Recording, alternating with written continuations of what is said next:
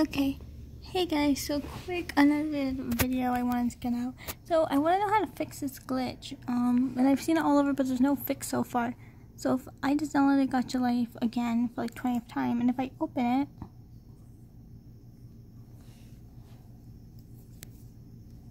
I get the character glitch where it won't respond to anything I do. I can't change the characters or anything. It's oh. Shop works. Clearly.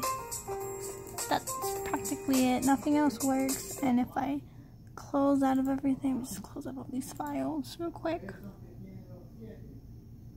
If I close out of this, close out of whatever the heck this is, and open it again, you guys can see it's not fake because I can, you're still seeing everything that's on my screen.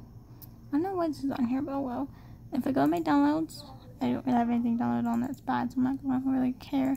I double click it again. Gonna just press it once, let go of my mouse. See my mouse is over there. And it's right here. And my other one's holding the camera, obviously. It still doesn't work. So please let me know how to fix this if you know.